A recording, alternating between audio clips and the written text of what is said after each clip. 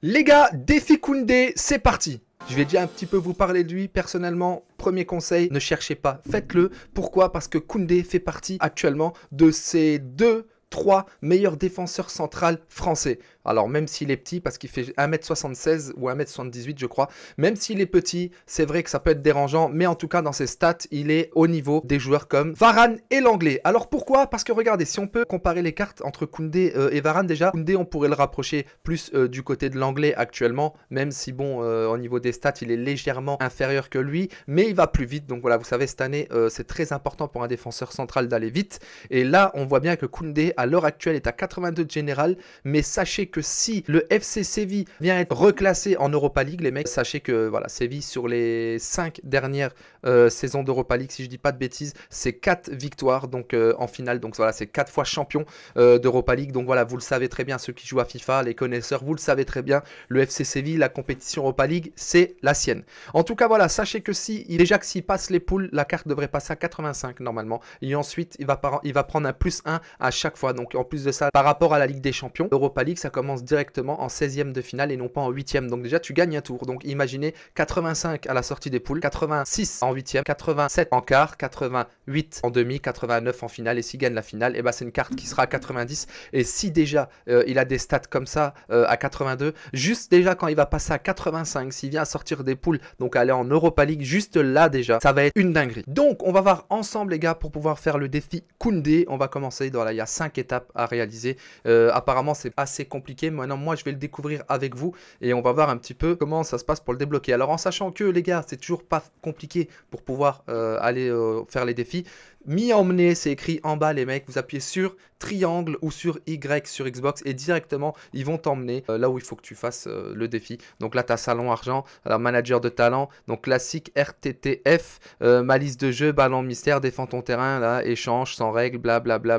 Bla, Donc voilà, les mecs. C'est pas compliqué. Donc toi, il faut que tu dans classique RTTF. Voilà. Donc, les potes, ce qu'on va faire, son tir en finesse. Donc, marquer 4 buts en tir en finesse avec des joueurs de la Liga dans le match amical FUT Live. Euh, donc, le classique RTTF, on vient de le dire. Avec au moins 8 joueurs de la Liga parmi les titulaires. Déjà, tu te casses pas la tête. Tu commences par un 11 de départ de Liga Santander. Voilà. Tu commences par ça et ensuite tu dois marquer donc euh, dans un match hein, ou dans plusieurs matchs, mais en tout cas en un match tu peux déjà réaliser le premier défi. Donc marquer 4 buts en finesse. Pour marquer 4 buts en finesse les gars sur PS4, vous appuyez sur le R1 et le bouton de frappe. Donc moi c'est carré mais bon en classique c'est rond. Vous connaissez les mecs donc c'est ça. C'est le tir en finesse. Deuxième c'est défenseur altruiste. Donc adresser 5 passes décisives avec des défenseurs de la Liga dans le match euh, amical FUT Live, donc classique RTTF, avec au moins 8 joueurs de la Liga parmi les titulaires. Donc là, c'est simple. C'est au début de ton match. Ce que tu fais, c'est que tu places tes défenseurs dans le milieu de terrain, voire même attaquant. Et tu, ou tu peux même jouer avec un 11 de départ de la Liga avec que des défenseurs. Comme ça au moins. Quand tu vas faire une passe, tu es sûr au moins que la passe sera faite par un défenseur. Et tu te casses pas la tête. Alors niveau collectif, ça va être compliqué. Les statistiques devant le but, ça va être dur. Mais au moins, chaque but que tu vas marquer, la passe décisive, elle sera donnée à un défenseur. C'est un truc en plus que moi, en tout cas, je fais en général. Euh, je fais monter mes quatre défenseurs donc dans le milieu de terrain et j'essaye de faire une passe décisive avec eux. C'est pas toujours évident, mais quand on peut le faire, on le fait. En plus, en général, on arrive à s'arranger avec d'autres joueurs euh, qui font aussi les défis. Donc si tu te débrouilles et que tu tombes sur un bon gars, tu peux réaliser le défi là euh, assez facile. La Liga est là. Donc là, c'est adresser une passe décisive dans 15 matchs distincts. Donc là, tu dois faire au moins 15 matchs. Là, ça va être la galère.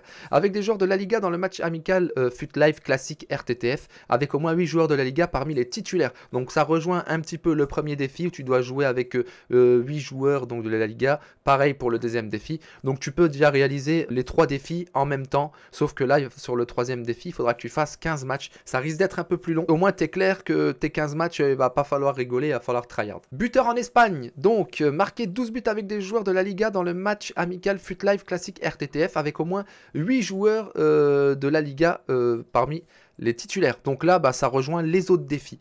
Donc tu dois avoir un 11 de la Liga. Et en plus de ça, ben voilà, il faut que tu marques 12 buts avec des joueurs. Donc tu peux euh, réaliser euh, voilà, tous les défis en même temps. Normalement, si tu te débrouilles bien, tu peux comptabiliser tous tes défis.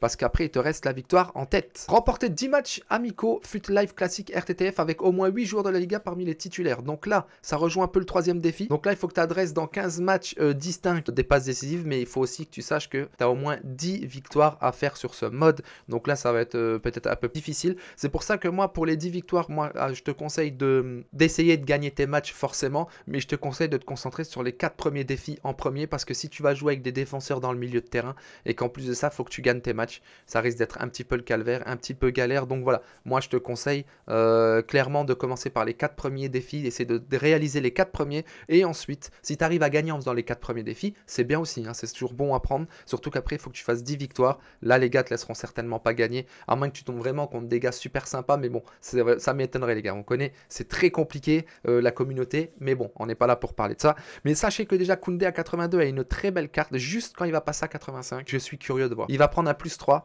en vitesse il va passer au moins à 84, en physique il va passer au moins à 80, en défense il va être au moins à 87, alors certes, il est petit, il fait 1m76 peut-être, mais sachez, la carte est gratuite et très intéressante, donc personnellement moi, bah je vais le faire les gars. Je vais le faire parce qu'il a une carte qui est juste exceptionnelle et j'ai envie de voir son évolution. J'ai confiance au FC Séville, je sais très bien qu'ils vont avancer dans la compétition. Si ce n'est pas euh, en Ligue des Champions, ça sera en Europa League. Donc vraiment, moi personnellement, j'ai confiance. Et comme je vous ai dit, il peut être un des meilleurs défenseurs central français hors icône.